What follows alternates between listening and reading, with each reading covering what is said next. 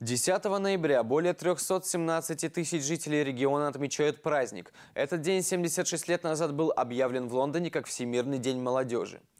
О том, кто относится к молодежи и какая помощь им оказывается в регионе, смотрите в нашем сюжете. Традиционно люди в нашей стране отмечают День молодежи летом.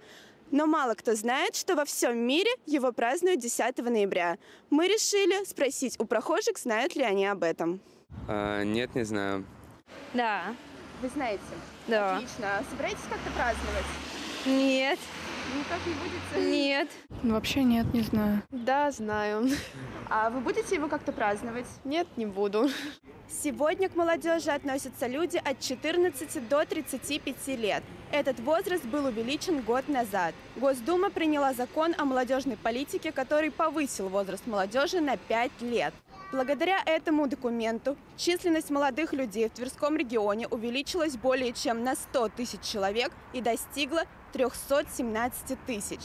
А это, в частности, означает, что меры господдержки, предназначенные для молодых, стало получать куда больше граждан.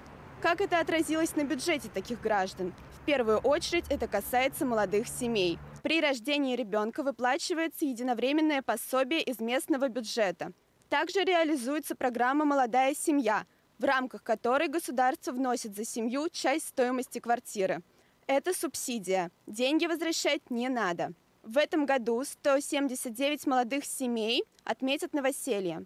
На это выделен 121 миллион рублей.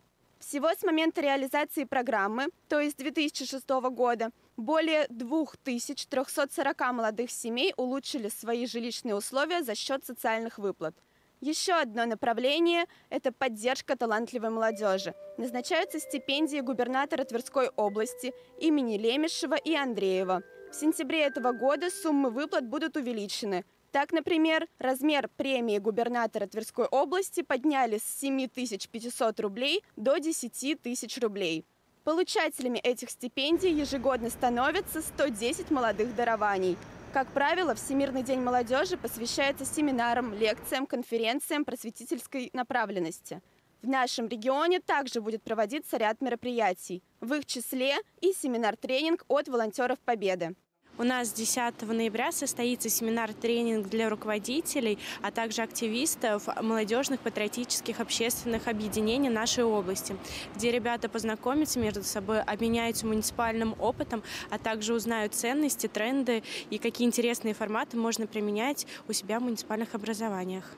Вопреки расхожему мнению о подрастающем поколении, современная молодежь активно занимается волонтерством, готова тратить время на безвозмездную помощь, которая приносит пользу обществу и даже чаще, чем более старшее поколение мотивировано идеей долга.